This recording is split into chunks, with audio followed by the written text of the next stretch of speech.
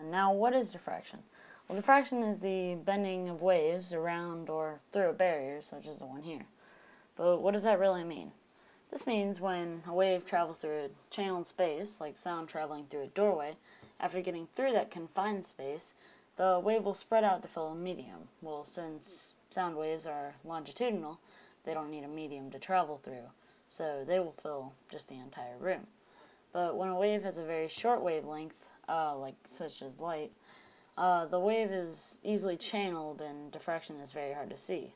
Although in waves that have a much longer wavelength, uh, like low-pitched sound waves, diffraction is easily observed. Uh, like in concerts where there's a very heavy bass, the whole venue will shake and vibrate because the sound has filled the medium or the room and has spread out. Well, what is reflection? Reflection occurs when a wave bounces back off of a surface where the wave isn't absorbed, like light bouncing off of a mirror. Sound waves reflect best off hard, smooth surfaces that won't absorb the sound. That's why you see the fabric things uh, filled with insulation on the walls to reduce echo in theaters. But what is the line of incidence and reflection?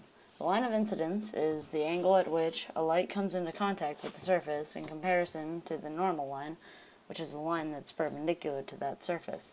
The angle of reflection uh, will be the angle that the light is reflected back out. These two angles will be the same every time. Finally, what is refraction? Refraction is the bending of light waves as it passes into a different medium, such as light going from air into water. The speed of light is much slower in water than air, so the light bends and it's not going as fast.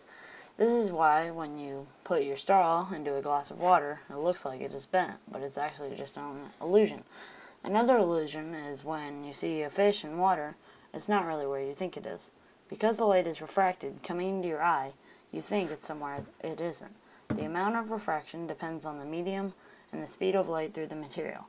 Light moves the slowest through a solid, like glass or diamond, followed by liquids and Finally, light moves the fastest in air.